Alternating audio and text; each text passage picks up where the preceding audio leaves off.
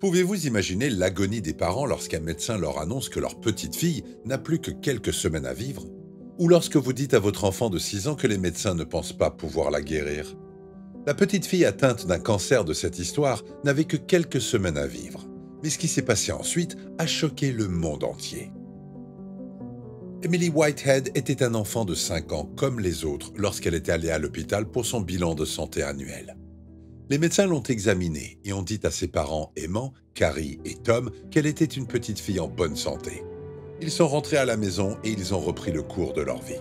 Mais à peine une semaine plus tard, tout a commencé à changer. Carrie a vu des signes qu'elle n'aimait pas. Sa fille n'était pas elle-même. Emily avait soudainement des bleus sur tout le corps. Deux nuits de suite, elle s'est réveillée en pleurant à cause d'une douleur et ses parents n'arrivaient pas à la calmer. C'était dur. Et puis, Carrie a vu que les gencives de sa fille saignaient quand elle se brossait les dents. Bien qu'elle avait passé son bilan de santé très récemment, Carrie savait que quelque chose n'allait pas du tout. Elle a fait des recherches sur tous les symptômes de sa fille sur Google, mais les résultats ne lui ont pas donné la tranquillité d'esprit.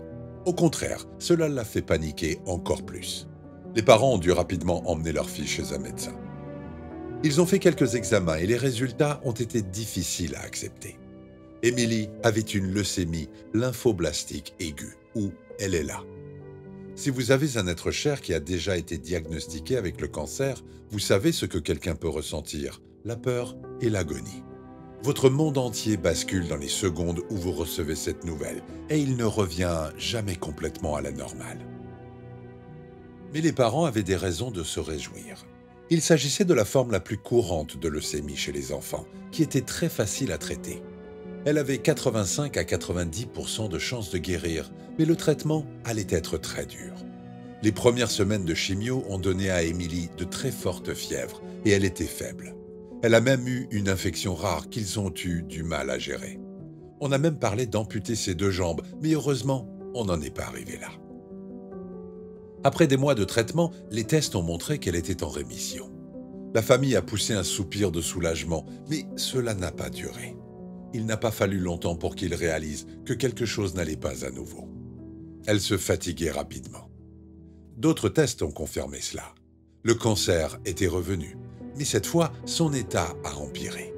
Ses chances de guérison n'étaient plus que de 30%. Cette nouvelle était encore pire et plus déprimante que le diagnostic initial.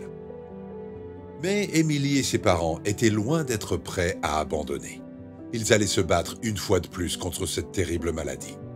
Tom se souvient d'avoir dit à Emily, qui avait alors 6 ans, que s'il devait ramper jusqu'au pôle Nord, il le ferait, si c'est ce qu'il fallait pour trouver quelqu'un pour la guérir.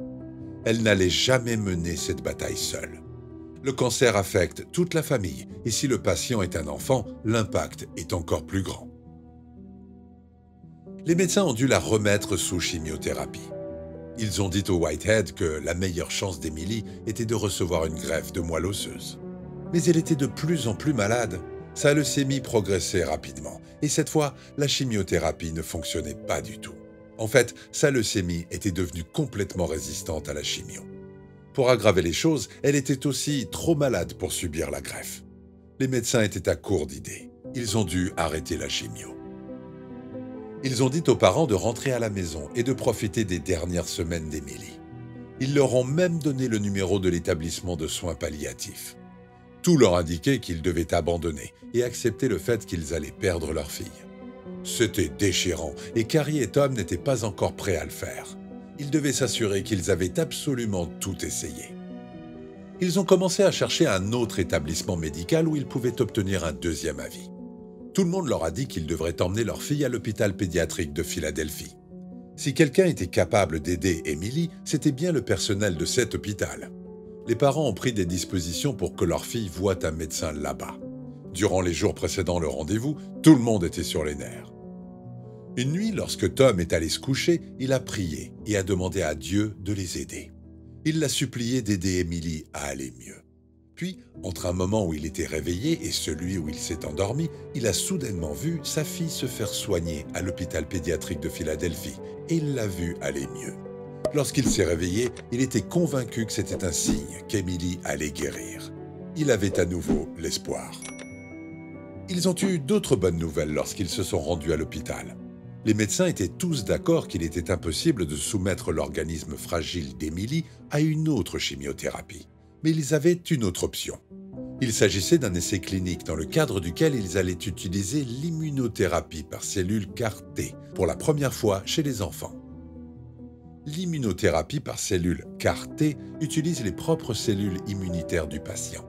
Celles-ci sont prélevées dans l'organisme, puis modifiées en laboratoire.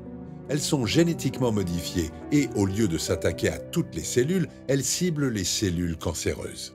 Et avec un peu de chance, elles sont capables de les détruire. Cela semblait vraiment prometteur. Mais ils ont été avertis que, bien que ce traitement était révolutionnaire, il n'avait pas encore été testé. C'était l'espoir dont ils avaient besoin, mais ils n'avaient aucun moyen de savoir ce que le traitement ferait au petit corps fragile de leur fille. Pourtant, malgré les risques, c'était la seule option qu'ils avaient. Ils devaient l'essayer si Émilie voulait avoir une chance de grandir. Et toutes leurs craintes semblaient se réaliser. Le traitement était brutal. Il a empiré son état, du moins au début. Les médecins ont dû la mettre dans le coma et sous respirateur. C'était le moment le plus stressant de toute la situation.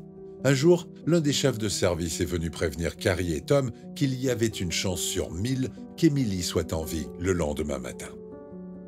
Ils ont passé la nuit à prier pour leur fille et à écouter chaque respiration qu'elle prenait, au cas où ce serait la dernière. C'était complètement épuisant, et il y a des moments où ils se demandaient s'ils avaient bien fait de la laisser participer à l'essai clinique. Le jour de son septième anniversaire, Émilie a ouvert les yeux. Elle avait survécu à la tempête. Mais cela ne signifiait pas pour autant qu'elle était tirée d'affaire. Elle avait peut-être survécu, mais cela ne signifiait pas qu'elle recouvrait la santé. C'est huit jours plus tard qu'on lui a fait subir un nouvel examen de la moelle osseuse pour voir où en était la leucémie. Les résultats de l'examen étaient choquants. Ils ont révélé qu'Émilie n'avait plus de cancer. La famille a obtenu le miracle qu'elle espérait. Mais comme le traitement était tout nouveau, les parents ne pouvaient pas savoir combien de temps Émilie allait rester en bonne santé. Elle pouvait être en bonne santé pendant des années ou quelques semaines seulement avant que la leucémie ne revienne. Ils n'avaient aucun moyen de le savoir. Ils savaient simplement qu'ils devaient profiter au maximum de chaque moment qu'ils avaient ensemble. Et ils voulaient aussi aider d'autres familles. Ils ont donc créé une fondation au nom d'Émilie, afin de collecter des fonds pour intensifier les recherches sur le traitement par cellules CAR-T. Ils ont aidé les patients à participer à des essais cliniques et à les mettre en contact les uns avec les autres. Dans ces groupes, les patients pouvaient partager leurs histoires et célébrer la vie. Émilie a dû régulièrement passer des examens après son rétablissement, mais elle a toujours essayé de rester positive et de célébrer chaque moment qu'elle passait. Sa vie aurait pu s'arrêter à l'âge de 6 ans, alors chaque année de vie était un cadeau, même si l'épée du cancer restait suspendue au-dessus de la tête de toute la famille.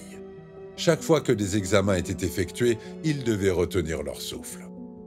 Puis, le 17e anniversaire d'Émilie est arrivé. Une fois de plus, elle devait passer ses examens annuels. Les résultats allaient choquer le monde entier. Cette fois, il serait différent. Son cancer était en rémission depuis 10 ans elle ne souffrait plus de cancer. Au lieu de dire que le cancer était en rémission, les médecins ont déclaré qu'elle était guérie. L'impensable s'est produit. Quelque chose que de nombreux médecins et d'autres chercheurs espéraient réaliser depuis de nombreuses années. Ils avaient trouvé un moyen de guérir la leucémie infantile.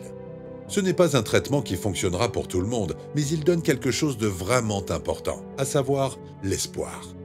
Des recherches supplémentaires sont nécessaires, mais nous espérons qu'un jour, tous les enfants atteints de cette horrible maladie pourront eux aussi être guéris. Merci d'avoir regardé la vidéo les amis. N'oubliez pas de la liker et de vous abonner à la chaîne si ce n'est pas encore le cas. Et à bientôt pour une toute nouvelle histoire.